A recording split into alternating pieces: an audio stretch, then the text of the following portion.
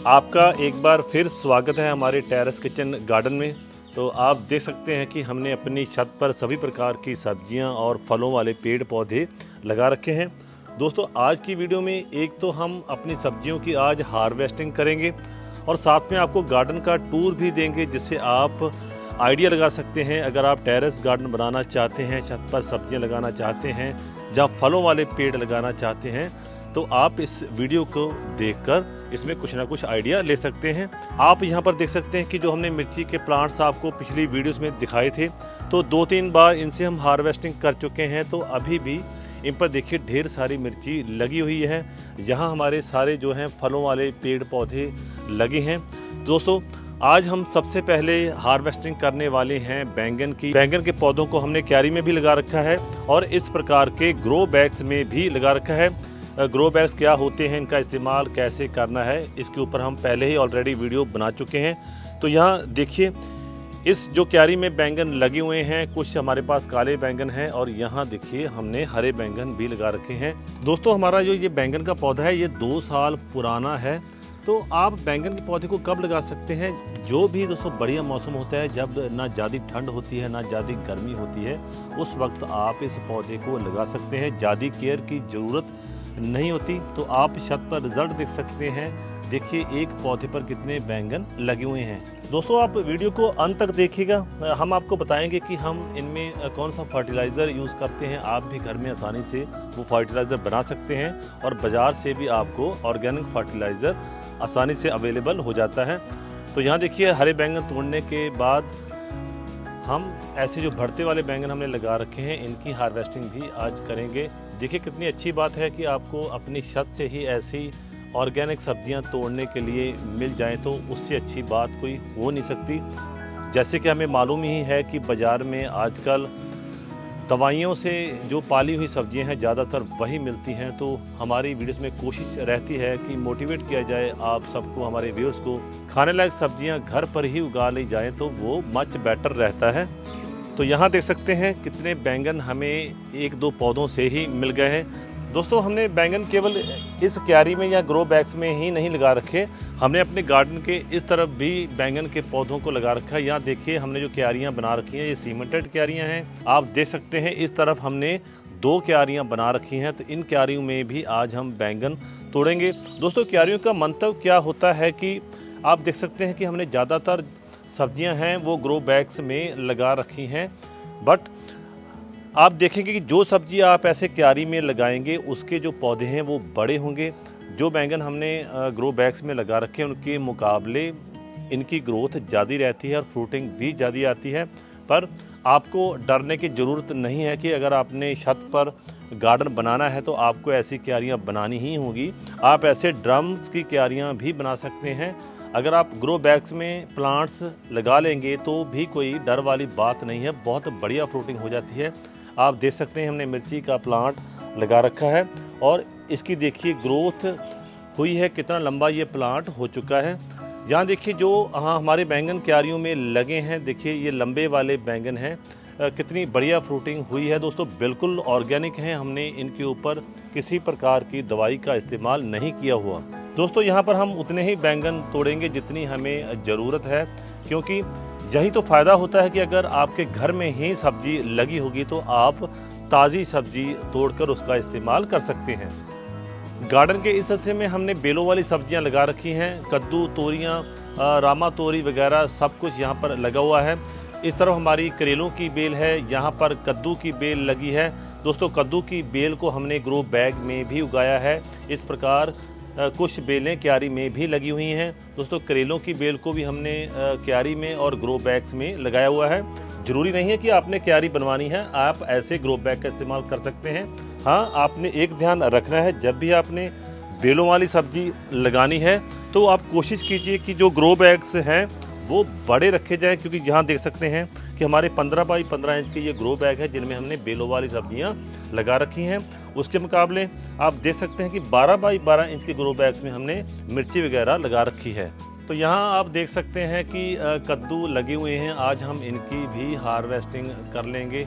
तो दोस्तों, आप भी अपने घर की छत पर कद्दू उगा सकते हैं, जो इनको लगाने का सीज़न है। दोस्तों, आप इनको फरवरी में लगा लें तो आपको चार पाँच महीने तक इसके बढ़िया रिज़ल्ट मिलते रहेंगे।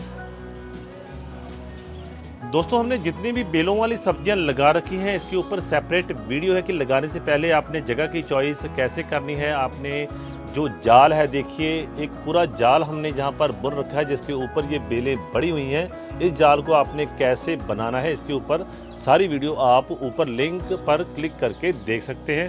तो देखिए, यहाँ करेलों वाली बेल है, करेले भी लगे हुए हैं। तो इनकी दोस्तों, हमने हार्वेस्टिंग कल कर ली थी, आज हम करेलों की हार्वेस्टिंग नहीं करेंगे। तो आप ग्रो बैग में ऐसे करेले भी उगा सकते हैं। तो आप देख सकते हैं कि हमारी हार्वेस्टिंग वाली टोकरी पूरी तरह से भर चुकी है। दोस्तों, आगे हम किस चीज़ की हार्वेस्टिंग करने वाले हैं, वो भी आपको दिखाएँगे। और अंत में, जैसे मैंने पहले आपको बताया कि हम इसमें कौन सा ऑर्गेनिक फर्टिलाइज़र इस्तेमाल करते हैं, उसके बारे में भी आपको जानकारी देंगे। जैसे आप देख सकते हैं कि जहाँ पर लाल मिर्ची हुई है, इनकी भी हार्वेस्टिंग करने वाली है। तो दोस्तों, इसकी हार्वेस्टिंग हम आज नहीं करेंगे क्योंकि बहुत टाइम लग जाता है एक एक मिर्ची को तोड़ने के लिए। इन लाल मिर्ची को तोड़कर हम पिसवा कर रख लेंगे। आज इनकी हार्वेस्टिंग नहीं करेंगे। आप देख सकते हैं, जितना भी गार्डन का ये वाला हिस्सा हमारा है, इस पर हमने ज़्यादातर सब्ज़ियाँ लगा रखी हैं। अब हम आपको गार्डन के दूसरे हिस्से में लेके चलते हैं, वहाँ दिखाते हैं कि हमने वहाँ कौन सी चीज़ लगा रखी है। दोस्तों, यहाँ पर भिंडियाँ हमने लगाई थी। पंजाब में बहुत ज़्यादा बारिश होने की वजह से हमारी जो नई भिंडियाँ हैं, वो नहीं उग पाई, इसलिए हमारी ये वाली क्यारी अभी तक खाली पड़ी है, क्योंकि जब भी हम इसमें बीज लगाते हैं तो बारिश आ जाती है, जिससे वो बीज उगते ही नहीं हैं। यहाँ दोस्तों, मैं आपको एक चीज़ और दिखाना चाहूँगा कि ऐसे हमने ड्रम्स में फलों वाले पौधे लगा रखे हैं, हमने डिटेल से वीडियो इन पर बनाई हुई है। जो हमारे साथ इस वीडियो में नए जुड़े हैं, वो देख सकते हैं कि हमारे इस अमरूद के पौधे पर देखिए कितने अमरूद लगे हुए हैं। तो कुछ अमरूदों की हम आज हार्वेस्टिंग करेंगे। ये दोस्तों पक चुके हैं। कुछ अमरूद पककर अपने आप गिर रहे हैं और कुछ अमरूद दोस्तों कई बार बच्चे हमारे गार्डन में आते हैं, वो भी तोड़ के ले जाते हैं। क्योंकि जितनी खुशी बच्चों को दोस्तों होती है, उतनी खुशी हम बड़ों को नहीं होती। आप देख सकते हैं कि हमें अपनी छत से, देखिए, अमरूद मिलने शुरू हो गए हैं। हमने दोस्तों अमरूद के तीन चार प्लांट्स अलग अलग वैरायटीज़ के लगा रखे हैं। इवन दोस्तों आप देख सकते हैं कि जब आप कुदरत के नज़दीक होते हैं तो कुदरत आपके नज़दीक आने लग जाती है। जहाँ पर एक छोटी सी चिड़िया ने दोस्तों, देखिए, घोंसला बना रखा था। उसने यहाँ बच्चे पैदा किए और यहाँ से वो निकाल कर उन्हें ले गई। इसी प्रकार आप देख सकते हैं कि मधुमक्खी का छत्ता हमारी छत पर ही इन्हीं पेड़ों में लगा हुआ है। दोस्तों गार्डन के इस हिस्से में हमने कुछ मेडिसिनल प्लांट्स लगा रखे हैं सिट्रस प्लांट्स भी हैं और कुछ फलों वाले प्लांट्स भी हैं। यहाँ पर देख सकते हैं कि हमने अंजीर का पौधा लगा रखा है। तो दोस्तों, आप यहाँ देखिए, अंजीर के फल बनकर तैयार हो चुके हैं। आज हम इनकी भी हार्वेस्टिंग करेंगे। देखिए, जो साधारण अंजीर होता है, उसका फल दोस्तों ऐसे होता है। देखिए, ये बनकर तैयार हो चुका है। कुछ फलों को हमने प्रोटेक्ट करने की कोशिश की है, क्योंकि आप देखिए यहाँ पर जो अंजीर का फल है, दोस्तों, जैसे ये पकते हैं, ये पंछियों के फेवरेट होते हैं। आप देखिए कि ये पक चुका है, इनको पंछियों ने खाना शुरू कर दिया है। इसलिए हमने लिफाफा, दोस्तों, ऐसे ऊपर लगा कर बचाने की कोशिश की थी तो आज इसकी भी हार्वेस्टिंग कर लेंगे। देखिए, हमें अपनी छत से ही फल प्राप्त हो रहे हैं। तो अंजीर के पौधे के ऊपर हमारी डिटेल्ड वीडियो है, आप छत पर अंजीर लगा सकते हैं। देखिए, हमने अंजीर की एक और वैरायटी यहाँ पर सेपरेट ग्रो बैग में लगा रखी है। ये जो अंजीर हमारे पास है, इसको हमने ड्रम में लगा रखा है। फ्रूटिंग आपके सामने है, आप देख सकते हैं कितने फ्रूट जो है, कितने फल इस अंजीर पर लगे हुए हैं।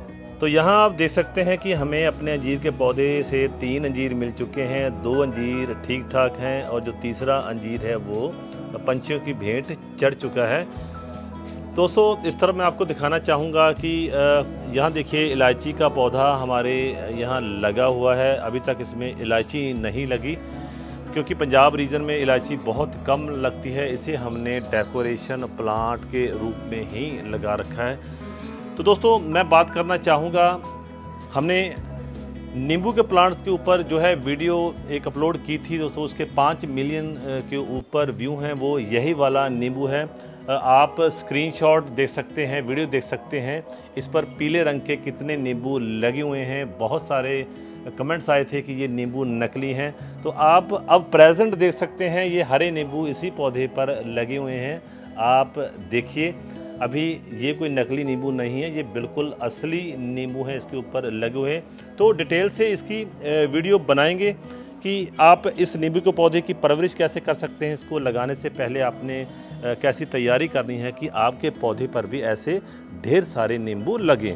नींबुओं का एक और पौधा है, इसके ऊपर बड़े नींबू लगे हुए हैं। तो आज हम इनमें से कुछ एक दो नींबू तोड़ेंगे, इसके बाद इकट्ठे नींबू को तोड़कर हम इसका अचार बनाएँगे। तो देखिए दोस्तों, छत पर ऐसे छोटे वाले ड्रम में ये नींबू लगे हुए हैं। आप देखिए कितनी फ्रूटिंग है, ये सारे, जो ये सारा पौधा है नींबुओं से भरा पड़ा है। तो आज हम केवल दो तीन नींबू ही आज इस पौधे से तोड़ेंगे। दोस्तों, जो हम आज की आखिरी हार्वेस्टिंग करेंगे, वो है पड़वल। जी हाँ पड़वल भी बारिश के मौसम में बहुत आसानी से होते हैं। देखिए, हमने पड़वल की बेल को ऐसे आठ फुट बाई तीन फुट वाली क्यारी में लगा रखा है। आप देख सकते हैं, पड़वल की बेल यहाँ ऊपर तक गई है। देखिए, यहाँ पर पड़वल लगे हुए हैं। दोस्तों, इनकी सब्ज़ी बहुत टेस्टी बनती है। तो आज हम इनकी भी हार्वेस्टिंग करेंगे। दोस्तों, लगाना बिल्कुल आसान है। आप बढ़िया सी नर्सरी से इसकी पौध लेकर इसे लगा सकते हैं। आप बीज के द्वारा भी इसे लगा सकते हैं। तो आप देखिए कि आपको पौष्टिक और ऑर्गेनिक सब्ज़ी अपने घर में ही खाने के लिए मिल जाएगी। इसको आप, दोस्तों लौकी की भांति ही बना सकते हैं। इसकी बहुत टेस्टी सब्ज़ी बनती है। तो आप पड़वल को भी अपने घर में उगा सकते हैं। बड़ी क्यारी में भी लगा सकते हैं। आप 15 बाई 15 इंच के ग्रो बैग में भी इस बेल को लगा सकते हैं। दोस्तों, जैसे मैंने आपको पहले बताया कि बेलों वाली सब्जियों को आपने 15 बाई 15 इंच के गमले या ग्रो बैग से नीचे नहीं लगाना, जहाँ आप ऐसे बड़ी क्यारी का इस्तेमाल कर सकते हैं। दोस्तों, आज की हमारी हार्वेस्टिंग केवल इतनी ही। इनमें हम दोस्तों सबसे पहले अपने घर में ही बनाया हुआ किचन कंपोस्ट का इस्तेमाल करते हैं।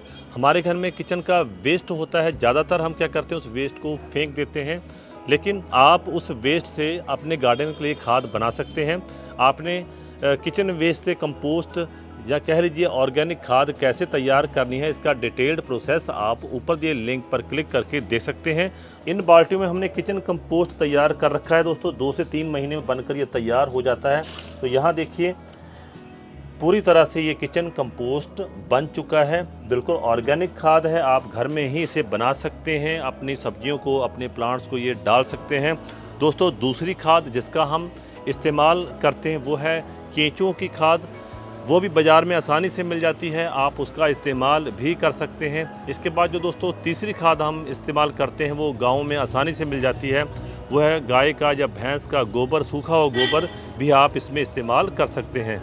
बाकी दोस्तों डिटेल्ड वीडियो देखने के लिए आप हमारा YouTube channel Green Life Diary subscribe कर सकते हैं। अगर आप ये वीडियो फेसबुक पेज पर देख रहे हैं तो आप हमारे Facebook page Green Life Diaries को फॉलो कर सकते हैं। दोस्तों, फिर मिलेंगे किसी नई वीडियो में, किसी नए कंटेंट के ऊपर। तब तक खूब गार्डनिंग करें, हँसते रहें, आबाद रहें।